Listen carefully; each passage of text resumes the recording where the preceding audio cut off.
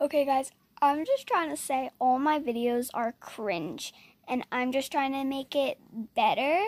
And also, thank you for a thousand views, really.